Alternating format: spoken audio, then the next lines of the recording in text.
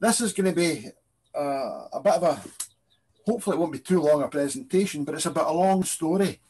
I'm hopefully cutting a wee bit of a long story short. I retired about seven or eight years ago, and just before I retired, I bought one of these cheap Chinese CNCs. We'll talk about what I did and what I've been doing over the past nearly a decade with it. And then Jim has been using one over the past 12 months and uh, basically doing a, a, much shorter learning curve. So hopefully we'll be able to see from his experience what it would be likely to involve, be involved if you decide to do this yourself. So that's what I bought, a thing called a 3040.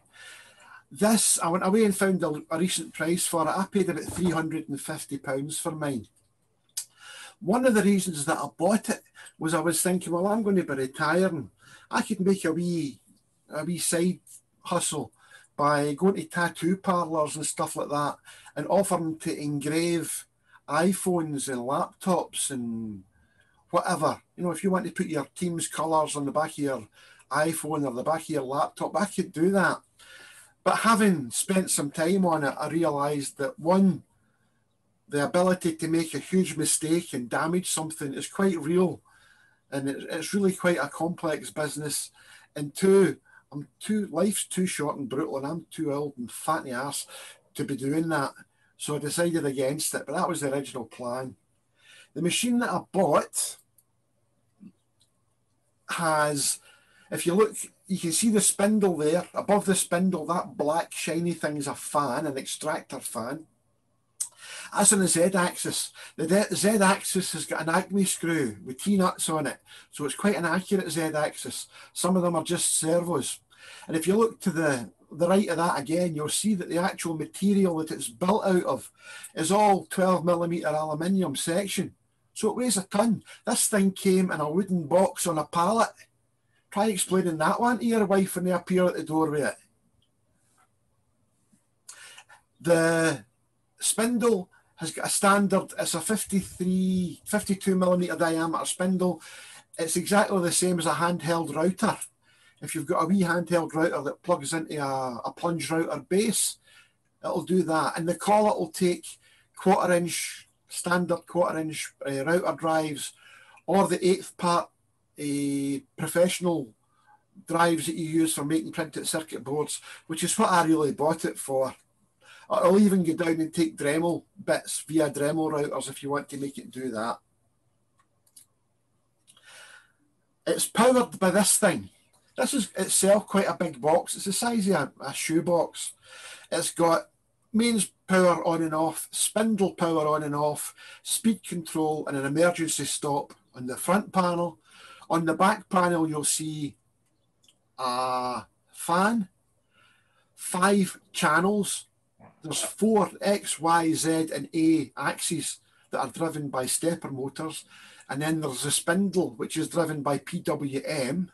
And there's also another wee port on there, which is a 5 volt probe port for testing, for seeing if it's touching something. I'll mention that later on. And then below it, there's a 25 pin D type. And that 25 pin D type is how you're supposed to drive this thing. There's 25 pin D type. It's designed to fit into a parallel pin printer port on a PC. Now, I'm looking round about me at the participants, I know that there's nobody here old enough to remember what a parallel printer port on a PC was. But up until the late part of the previous century, you get this big 25 pin port in the back of your PC, and you could use that to drive a really old fashioned printer that involved Carpathian monks with, with pens and stuff, writing. They don't they don't exist anymore. The supplied software is the software to drive a parallel printer port. It was called Mach 3. It was from 1980, and they send you the Chinese language version. All those buttons are in Chinese. All the menus are in Chinese. There's no menu option for changing the language. And it's already licensed to somebody in China. So it's dodgy as dodgy as a dodgy thing's dodgy bits. So that's that. So initial initial issues with this machine. It only does 100 mils up and down the way. That software is just junk. The parallel printer port works, but who's got a parallel printer port? It also doesn't have limit switches. If you take it beyond where it can go to the left or right or the front or back, it just hits the physical stop. It hits the, the end of the screw and makes a loud noise. The count keeps going and all that good stuff. But by that time, your your your print is dead anyway because you've went somewhere that you shouldn't have went. So for that reason, limit switches aren't really an issue. I've never felt the need for them. I only ever worked within a small area in the middle of the bed, and so limit switches, uh, there isn't any, but it doesn't really matter. Of more concern is the fourth axis being an A axis instead of a, an E axis. You can buy a fourth axis for it. It's a stepper motor driving a, a chuck for engraving glasses or engraving shot glasses or engraving round things. But I have no need for that, so I didn't uh, spend any money for it. While I'm talking about the stepper motors, the stepper motors on mine are NEMA 23 standard. If you follow your uh, National Electromechanical Standards, NEMA 23 standard stepper motors are about 56 millimeters square. They're big chunky boys, whereas the standard ones tend to be NEMA 17s that are a little bit smaller. They're about 42 mil, and those tend to be the ones if you've got a 3D printer, it'll be NEMA 17s that are on it. This is just a wee size up from that. Chic, sorry to interrupt. Can I just ask what exactly you mean by a fourth axis? Fourth axis. Well, I've, I've got X, Y, and Z that I can move X, Y, and Z moves the, the head of the thing. I can then have a fourth axis that I, I can make move or rotate. Okay. So the, the fourth axis as supplied is this round thing for putting a glass on. And the thing will actually draw on the glass as the glass turns. But on a, a 3D printer, the fourth axis is the extruder. So you, you send things to the E axis and that pushes more plastic through. Lovely. So for Thank you very example, much. If I replace that A axis with an E axis, this thing will become a 3D printer quite comfortably. Lovely. Thank you. Right, no worries. If you've got a, a question like that, please don't hesitate to, to jump in. It's not a problem. So, initially, I had a computer with a printer port on it, and I tried Mach 3 and it was rubbish. So I bought, I, I didn't buy, I, I acquired, I nearly said the bad word there. I acquired a soft a copy of the jet the the Mach 3 software with an English language interface on it, and it was still rubbish. Uh, part of the problem is that the later printer ports have big buffers on them. And so when you start sending stuff, the printer port waits until it's got a bunch of stuff and then sends it. And it does its own individual handshaking with the printer. And that was changing the, the timing of when the pulses were getting to the machine. And so the machine was printing garbage because it was using the printer port. However, I came across this thing, which Americans call garble, but Britons call gerbil for reasons that are uh, entirely to do with the culture in the two countries. And basically, it's a an Arduino based motion control system. System's a big word. You take yourself a standard Arduino, and as you know, when you plug your Arduino in, it becomes COM10 or COM11 or COM17 or something. So you've now got a COM port. And what you do is you send RS232 serial data to that COM port, and that'll output, this will convert it from COM commands with text to motion on each of the channels to make the machine work.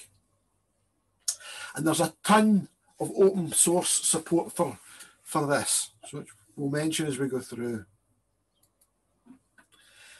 There's what it looks like. There's an Arduino Uno.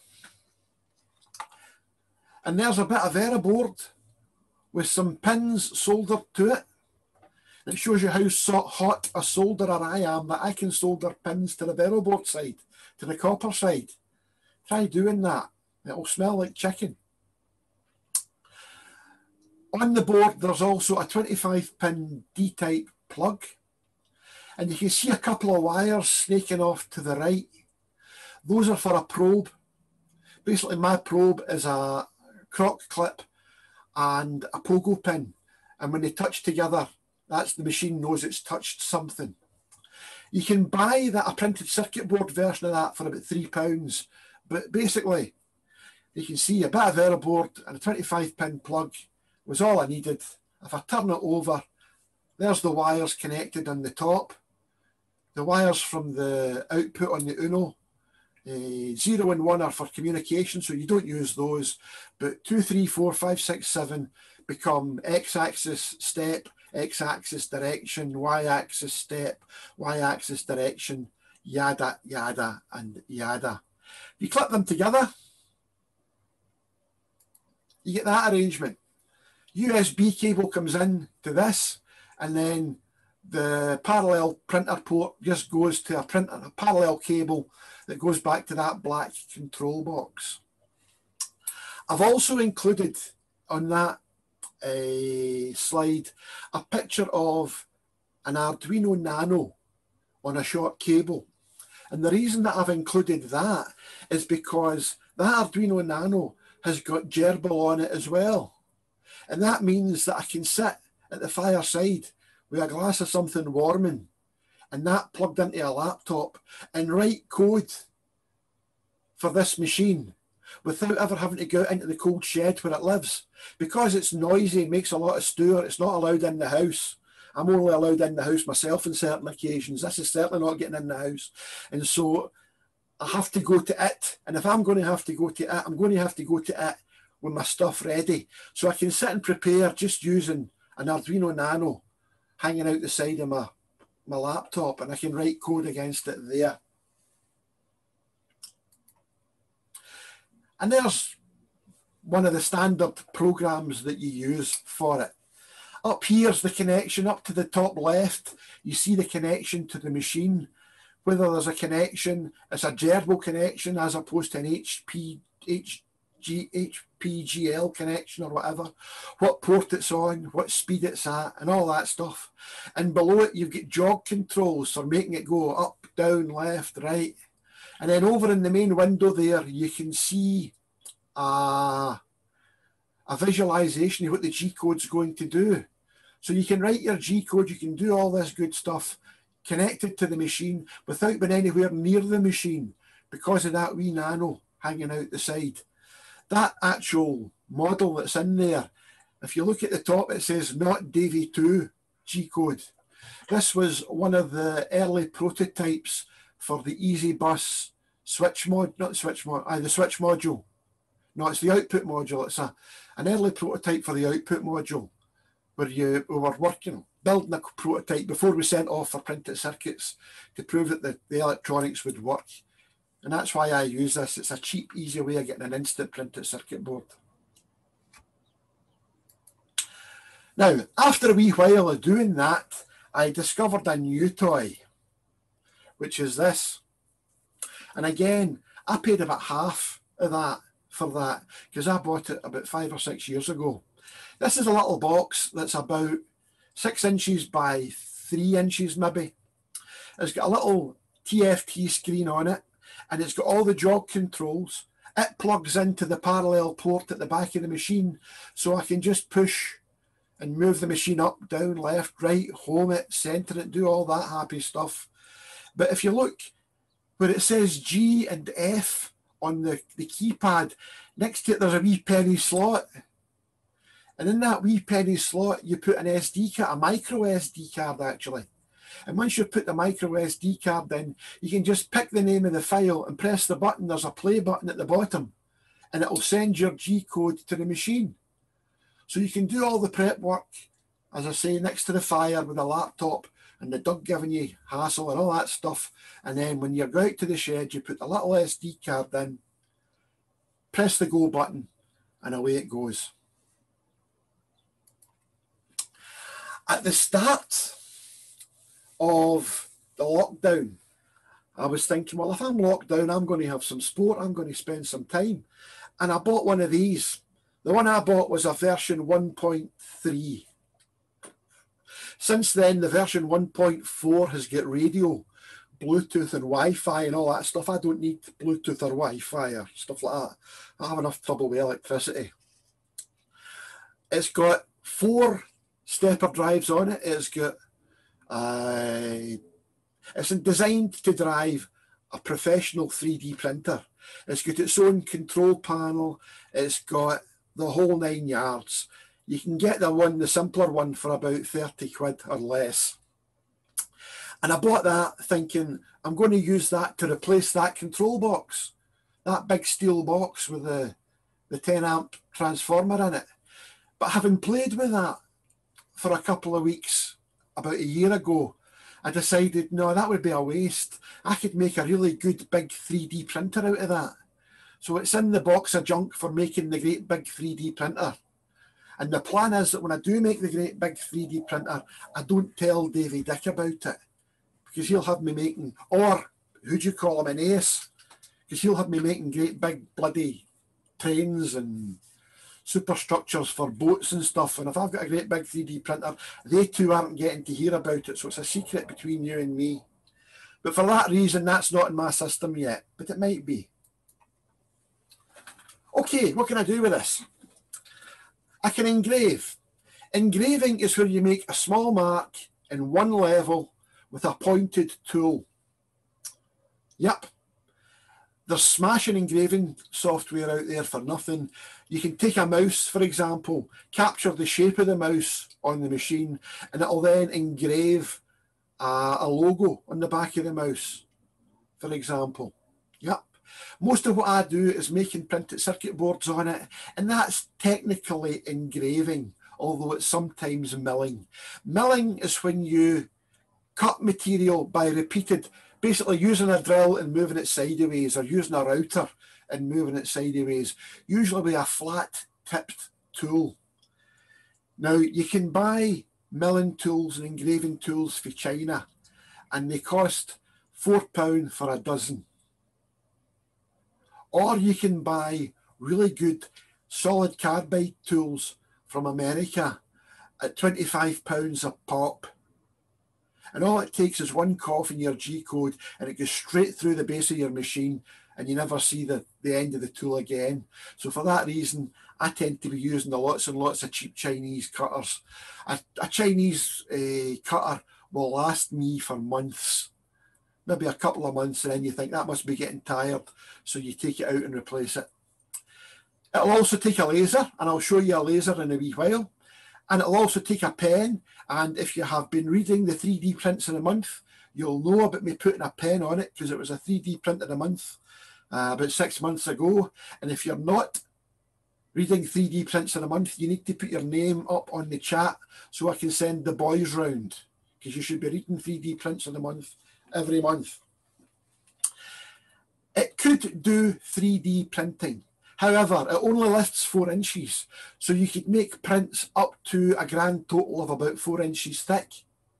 So it'd be up to 24 inches wide, up to 18 inches deep, but only four inches wide, four inches high.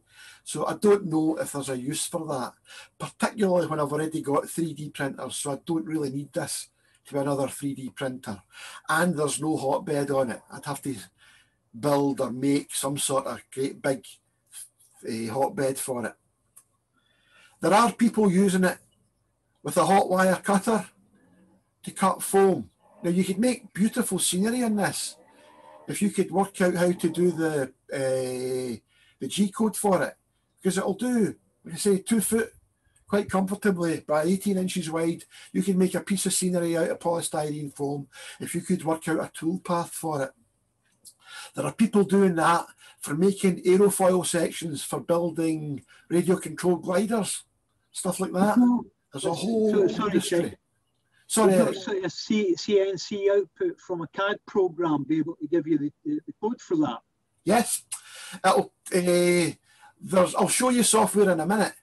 This runs on pure G code, the standard G code that every milling machine, uh, lathe, um, multi head, every machine in industry uses. This uses standard G code. You can make it move a camera. You can make it do photogrammetry. You can make a contact scanner whereby you simply send a, a, point down until it touches something over and over again. And that way you resolve the shape of something as a whole series of points. There's all sorts of uses for this toy, which I'll now kind of drive on to. There's the setup. To my right, the left of me, as you look at it, you see the box.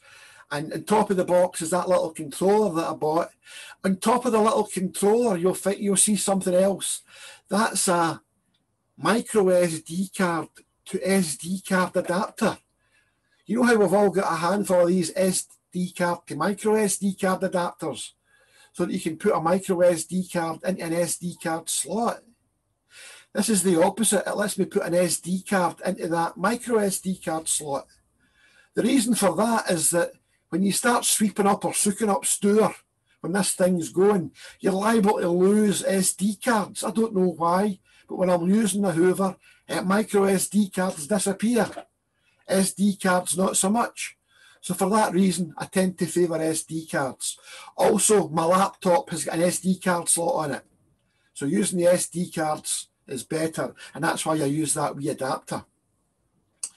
If you look at the machine itself, you can see the spindle. Above the spindle, you can see the Z-axis. You can see it's built like a tank. There's bits of printed circuit board lying about. If you look over the back of the machine, there's a really crap multimeter that I'm not going to talk about. There's lots of books full of notes and scribbles and things taken to myself. Did you know that the uh, the copper on a standard FRG printed circuit board is not 0.76 millimeters thick? No, neither did I, but I do now because it's in one of those books. And then over to the, the right of that, you'll see a lot of carpet fitters tape. To make printed circuit boards on this, what I do is I take a piece of the, the carpet fitters tape, which is double-sided broad sticky tape. You get it from Screwfix, a three pound a roll. It sticks to the back of the board and then the board sticks to the sacrificial MDF. And it's a fair, it, goes fairly flat. Maybe not flat enough, but I'll explain how I'm doing that in a wee minute. The shape of that big heatsink on the front and the bolts on it let you clap on other things. All you need's room to connect a couple of big M8 bolts. So that there's an extractor, for example. You can see the flexible hose that goes off over to the, the Hoover. Right? The Hoover has now got a, a pair of ladies' tights across the main input nozzle or a micro SD card detector, as I tend to prefer to refer to it as. But we'll not we'll not get into the, the exact details of how I'm doing everything that I'm doing. And there it is working kicks up a bit of stour, a bit of uh, dust for our friends from south of the border that don't know what stour is, but that stour there. That's what comes out of it. now that is uh, an adapter board for a TQF 48, isn't it? It's behind my head there.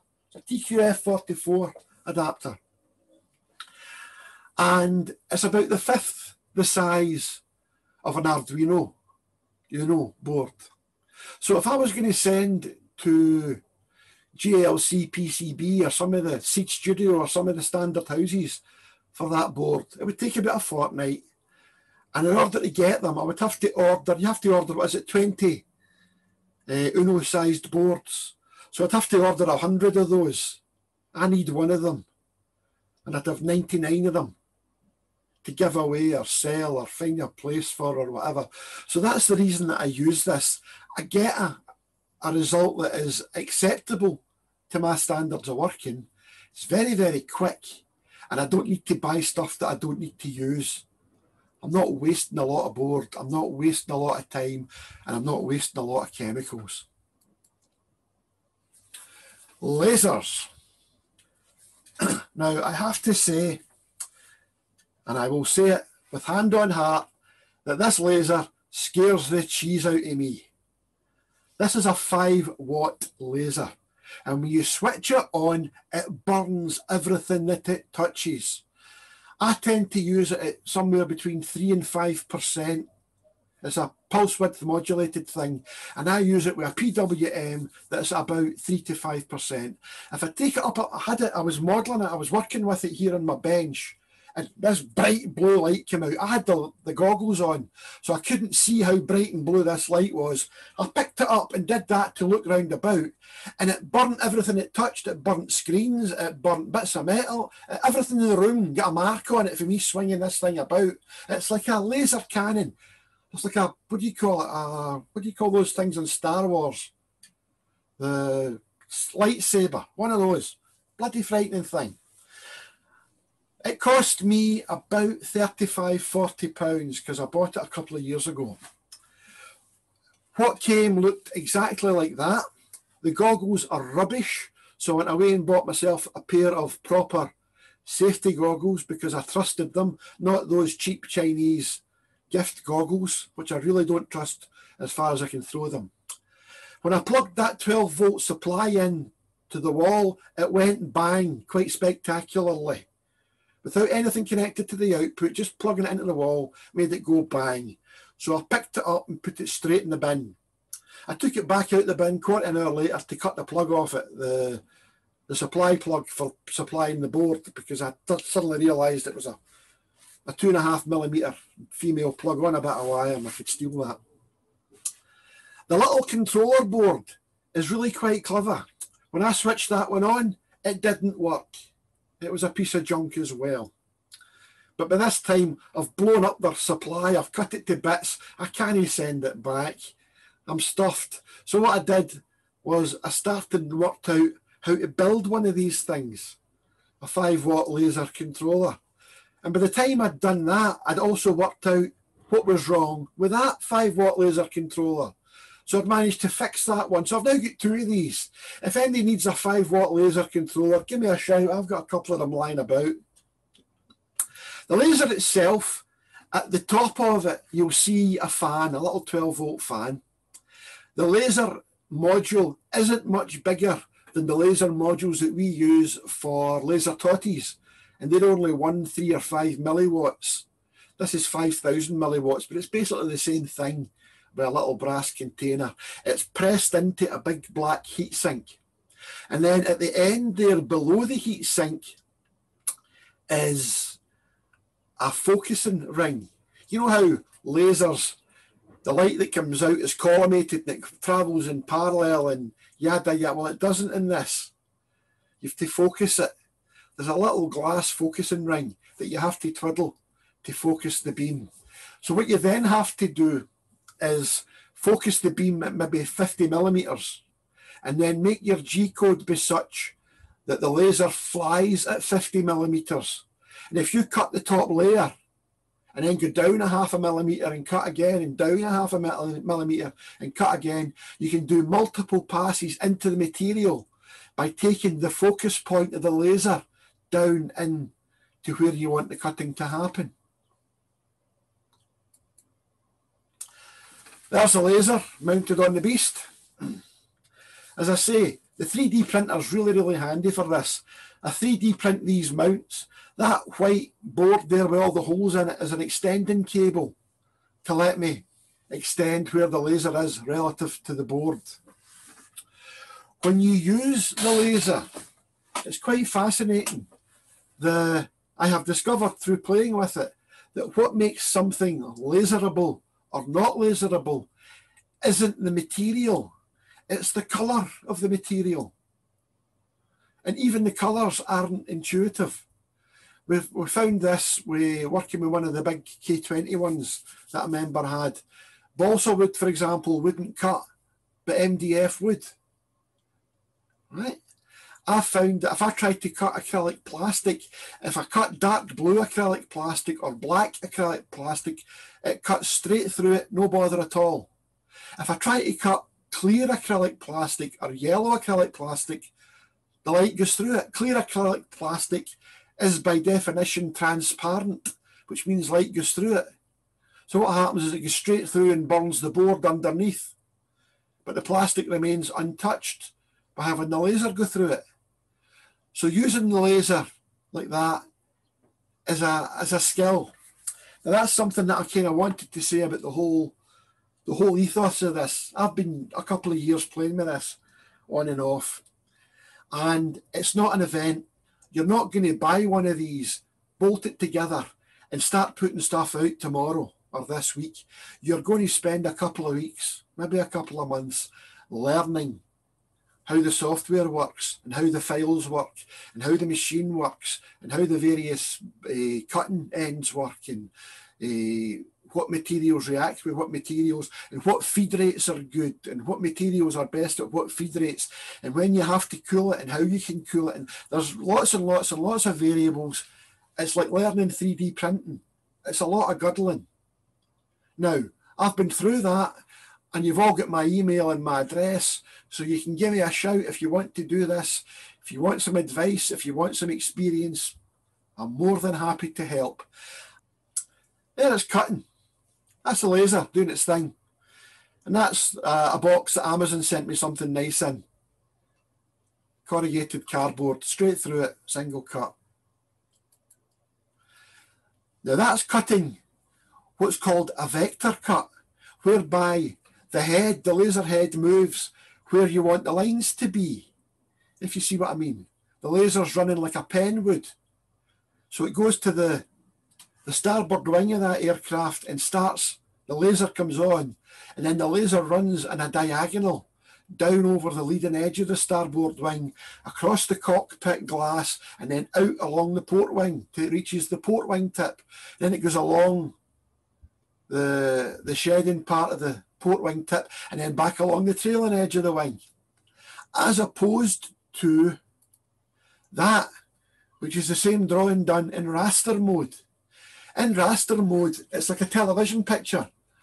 The ca- the the camera, the the laser scans from left to right, and it gives comes on and blasts where it wants there to be black, and then it scans back and comes on a millimeter down, blasting where it has to, and another millimeter down, blasting where it has to. Raster is rubbish, as you can see. You can get it better than that, but it's hard work. You have, I've yet to play with it. Some people use raster because you use raster for making printed circuit boards. The two ways of making a printed circuit board are isolation milling, where you simply draw round about the tracks and leave all that unused copper, all the copper that you aren't really interested in on the printed circuit board gets left there. Or there's real removal milling, whereby you take away all the copper that you don't want. If you're working at high frequencies or you're working with certain types of earth circuits, sometimes you need to remove all that copper. And if you want to remove all that copper, then the raster technique here lets you take away all that copper if you use it. I should say that when you're taking using the laser to draw printed circuit surfaces. There's about four different ways you can do it. You can turn the laser down low. I like the laser turned down low because I'm scared of it.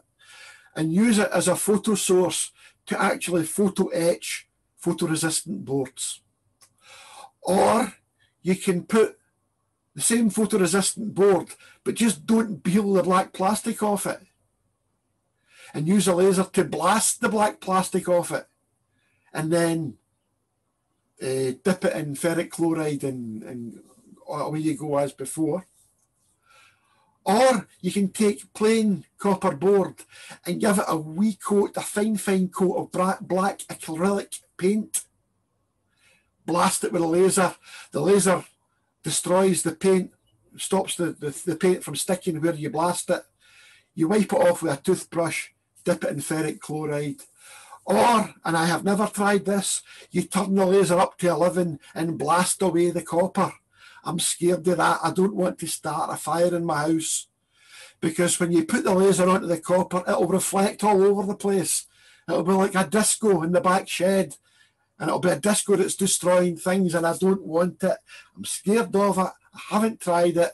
I would have to build a big wooden box to go over the beast, and um, life's too short and brutal as it is for me to be doing that. And knowing my luck, it would probably end up smelling a chicken. If you've made a printed circuit board, you can turn it over and use the laser to do that. That's not a silk screen, that's black. That's a piece of ordinary single-sided board and the top surface of the board has been blasted with a laser. Simply to tell me where to put the transistors and op amps and the motor connectors and the earths and, and all that good stuff. There's the pen holder that I put up on the 3D print of the month. You can see it's two little pieces of smooth rod with two 8mm linear bearings that support a, a wee carriage, and the wee carriage carries the pen. There's a wee spring at the back of the carriage pulling the carriage down the way so that when the pen hits the surface, it gets pushed up. So it doesn't try to drive the pen through the paper. This lets me draw things if I want to draw something using this machine as a great big expensive plotter. Or if I'm going to use the laser to do something, I can put the pen in instead of the laser and see what I'm going to get, where it's going to put it, make sure things are positioned right. So putting that on and running it is, is very a very useful wee tool. There it is in position, about to draw a printed circuit board. If I use it with a black permanent marker like that on plain polished printed circuit board, then I can simply drop that in ferric chloride and etch it. And I've got a PCB in half an hour. Okay, it's not going to be great for SMDs. It's not going to be great for a lot of stuff, but it is doable.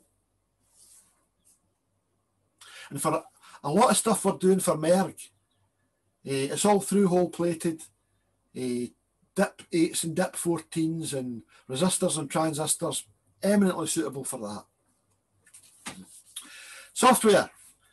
As I say, I'm using it principally for printed circuit board software. Eagle, KiCad, Sprint, Design Spark, all of them, they all have an output that will output either G code or HPGL or whatever. Anything that you can get out of this will drive that machine. Inkscape is a drawing program, a vector drawing program that is brilliant for lots and lots and lots of things. I'll talk more about Inkscape as we go on. FreeCAD is the de facto standard for doing CAD drawings nowadays. FreeCAD has got, I think it's 12 workbenches that'll take in an OpenSCAD drawing. So for example, I use OpenSCAD a lot for designing stuff for the 3D printer. But OpenSCAD, it's really hard to do fillets and chamfers and little bits of drawing that any that's done any real engineering drawing knows about fillets and chamfers and uh, all the wee bits that you do to tidy up a drawing and tidy up a part and make it easier to easier to machine and easier to handle. OpenSCAD doesn't do them, but FreeCAD does. So I can draw it in OpenSCAD to get the part that I want, import it to FreeCAD and simply say, fill it that, fill it that, chamfers there, there, there, and there, and rebate all those holes, and it'll do all that stuff instantly. So FreeCAD's brilliant. And all of these other open uh, CAM, and there's CAM, and it's a computer aided manufacturing, and that's basically getting it from a drawing package or a CAD package to manufacturing, getting it to via gerbils or via STL or whatever to G code because G code is what you use for any industrial machine that's got a motion controller on it. For operating the machine, now that I don't have the access to my Chinese version of Mach 3 anymore, I have to actually move the machine. Now my Wii controller will let me jog it up and down, but if I've got a PC connected to it, I can use that UGS thing that I showed you earlier. Pronterface, Repetier host, those are the typical pieces of software that you use for driving a 3D printer. Plug this in and it doesn't know that it's not a 3D printer. You can use it, use the 3D printer software to move the head round about, to make it home, to make it go to its limits. You can do all that good stuff. Candle is the similar piece of software for driving a laser cutter that comes with all the, the cheap and nasty Chinese laser cutters that you buy, and it'll work this as well.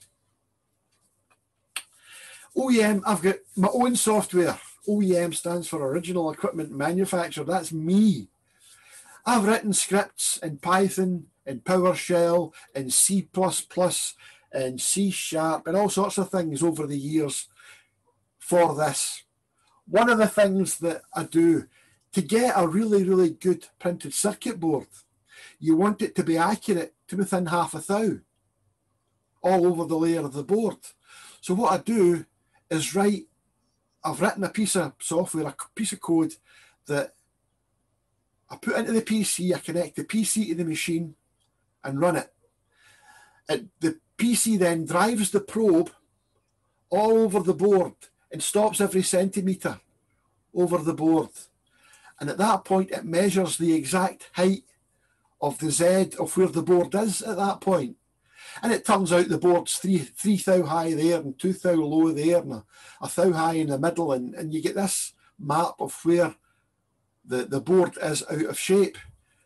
The software then uses that information to correct all the Z settings in my, my actual print G code so that when the G code prints, it prints to where the board is, not where the G code's telling it. So instead of going to G code minus 0.5 all the way around, it's going to plus 3 at that end of the board, it's going to minus 1.7 at that end of the board, because it happens to know that that's where the board lives. And so it always touches the board to the right depth. Right? You can build your own software for this. All you're doing is writing text to an RS-232 port and getting text back via an RS-232 port. So if you can write code or you can write uh, scripts, you can do your own stuff, but there's a wealth of pre-written stuff. Very, very unusual to find something that you can think of nowadays that hasn't already been done for this. Software, this is Inkscape. When you open Inkscape, Inkscape's written in Python. It's a brilliant drawing tool. among the things that I'm not going to talk about, but I have used and you have seen, is when it says above the the item that's highlighted there on the uh, the menu, it says FSM MLK. That's the Martin Luther King menu. Um, no, in there, there's a thing for drawing schematic diagrams, transistors and op amps and resistors and diodes to production standard. It really is gorgeous. You know, whatever you want to do drawing wise on a computer, I recommend Inkscape. If you you download Inkscape, it doesn't cost you anything. And when you download it and load it, loaded already, you'll find an extension called G Code Tools. And Jim's going to talk about the detail of how we do that. But it's already built in there. You don't need to buy, install, set up anything. It's already ready to roll there. That one there, I did have to add that's the photonics. Remember the aircraft that was drawn in straight lines, vectors? That's the vector laser tool. What happens, these extensions, by the way, you download them. They're a zip file. You download the zip file, you unzip it, and then you drop it into a directory called extensions. And that's it installed. That's it done. You're finished. Next time you open up Inkscape, you've got it. You don't have to do any clever setting up or anything. So that's the thing for doing the raster diagrams in on the laser. And up at the top, that one there's the raster generator for doing the, remember the kind of scabby looking aircraft with the, the, the raster. The raster's great if you want to take photographs. You want to put your a photograph of your loved one onto a piece of plastic or something. Great for that. Bit pants for everything else that I want to do. Piece of software. Um, a few years ago, Eagle was bought over by Eagle was originally a German company, and then it was bought by another company, and then it was bought by Farnell, and then it was bought out by it ended up in the hands of AutoCAD. and since then, AutoCAD are doing the AutoCAD thing of you don't actually own your data anymore. You don't own the software anymore. You log into our website and everything gets done there and all your files exist on our website. I'm not having that. So I'm still using Eagle version 7.6, which is from, I don't know, 2005 or something now. But it does everything I want to do. And it's got a CNC output for PCB milling and it's a very, very accurate, very, very nice piece of software for generating that. And at that point, I think I'm done. You need a, a rest for me and my throat's starting to give out. So Jim will take over now and tell you about his experience with it. Afternoon, everybody. I thought about getting a CNC cutter. I looked at them on eBay I didn't know much about them. And I visited a WOSAG member and asked if he knew anything about it. He says, hold on, I'll just go to the, the, can, the TARDIS. So back from the TARDIS, gave me a demo and I was hooked on it right away. And eBay quickly relieved me of my cash. That the router there was supplied in kit form. And that's it, built up there. It was fine, plenty instructions, easy enough to uh, fit together, albeit it was written in Chinese. But if you, you go into eBay, you'll get videos that shows you how to fit that exactly.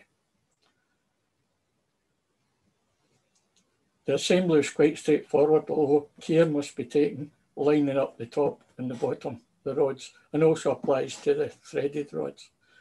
Before you leave that one, Jim, that controller has already got the GRBL built in and the, the, the, the card to put in and all that good stuff. So you don't need any other equipment.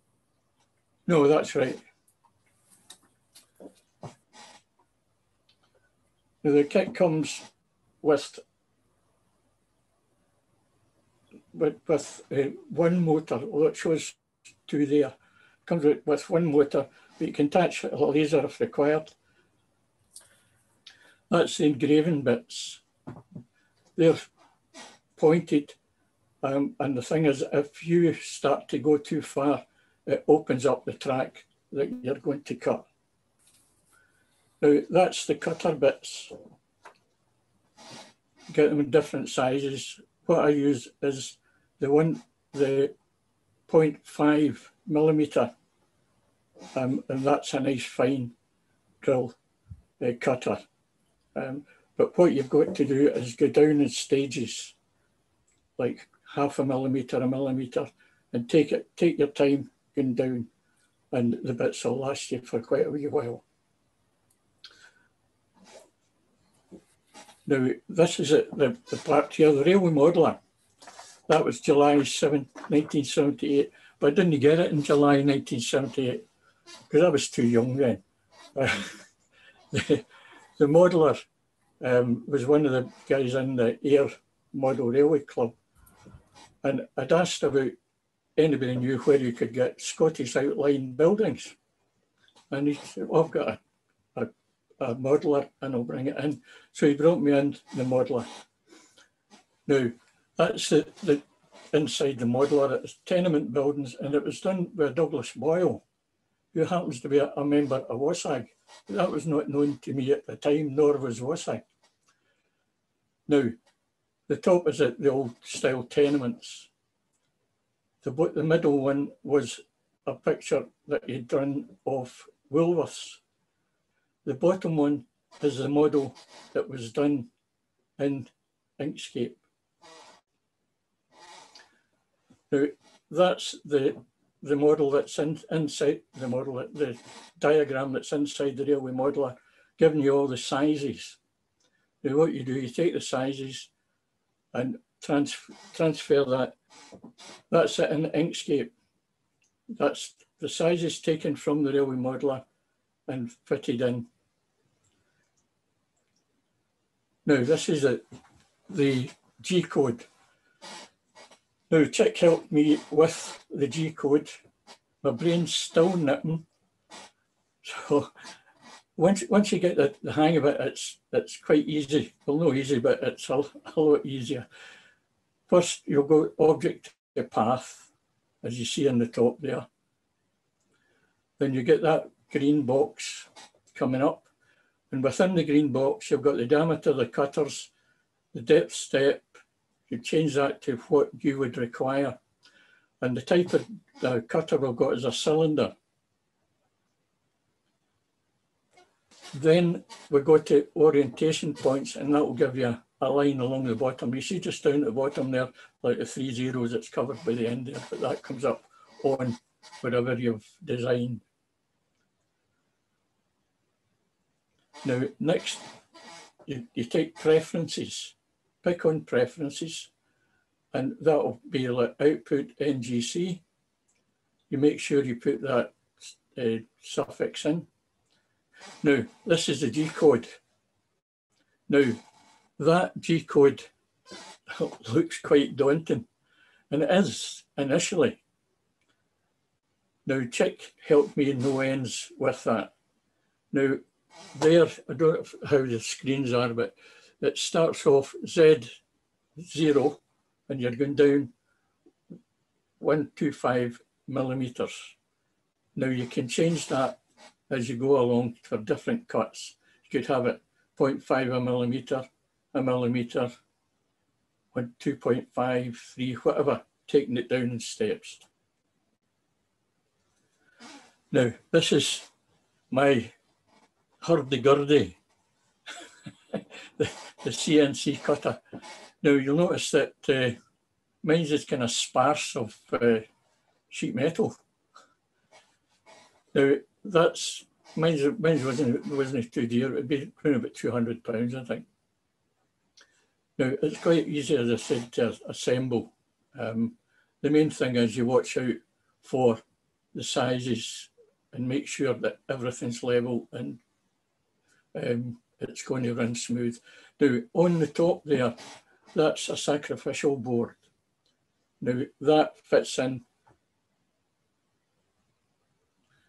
that fits onto the board and there's bolts come th through there with clasps on that you can set along the, the, the sides there and that holds it. Now, if you've set the, the cutter wrong for any, any reason, maybe uh, you went to go 1.5 millimeters and you went to two millimeters, it would be cutting the, the board itself, the machine itself. So that, it takes the, They hard take out the, the, the drill going through into the base. And at that point, we've got a little video to show you, so I'm going to unshare my screen and let Davey show us the vid.